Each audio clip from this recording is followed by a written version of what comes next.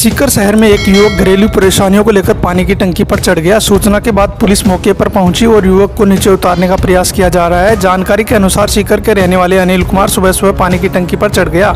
महिला थाने के पीछे बनी पानी की टंकी पर युवक को चढ़ा देखकर काफ़ी संख्या में लोग जमा हो गए। सूचना के बाद पुलिस मौके पर पहुँची।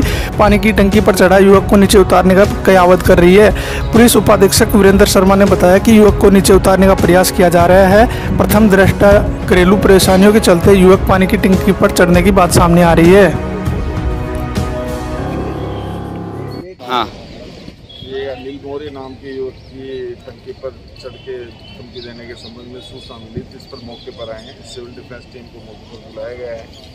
उसके परिजनों को बुलाया गया है और समझाइश कर इसको उतारने का प्रयास कर रहे हैं। ये माता पिता से लड़ाई करके और धमकी देने की उसमें ऊपर चढ़ा है। कहाँ का रहने वाले कहाँ पर? कौन सी टंकी पर चढ़े? हैं? कौन से स्थान पर है ये टंकी? टंकी सूर्यनगर। सीकर